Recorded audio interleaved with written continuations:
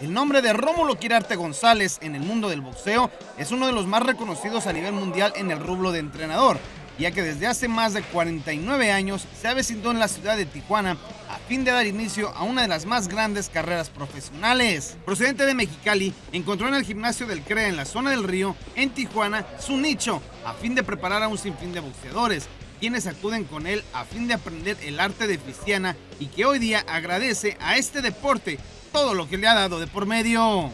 Con muchas satisfacciones, me ha dejado eh, muchos valores, me ha dado la oportunidad de servirle a mucha gente, eh, muchos eh, peleadores que yo pensé cuando empecé en esto que no tenía la capacidad de saber enseñar. Tuve el privilegio de trabajar con el peleador más grande que se hizo y se ha hecho y hasta ahorita que ha aparecido, no sé si a nivel mundial, pero sí a nivel nacional sí. Grandes campeones se han hecho bajo su enseñanza, como Raúl Gíbaro Pérez, Juan José Dinamita Estrada, José Luis Castillo, entre otros.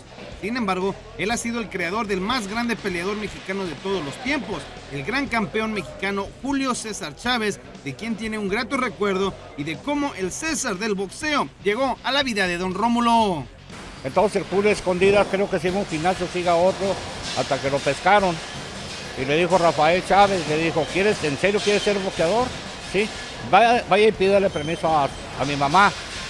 Y se me agarra su maleta y se me va con un Rómulo Quirarte y dígale que lo mando yo. Porque ese señor a hacer peleadores desde abajo.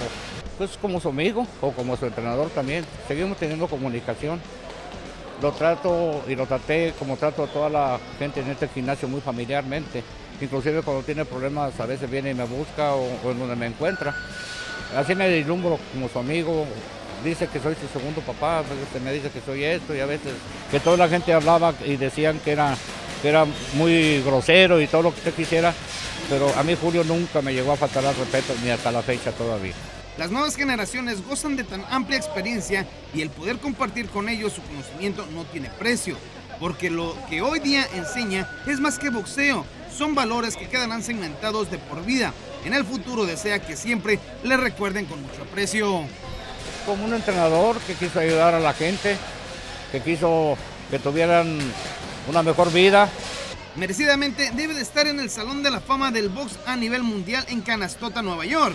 Informó con imágenes de Ricardo Ramírez para deportes, Rodrigo Peguero.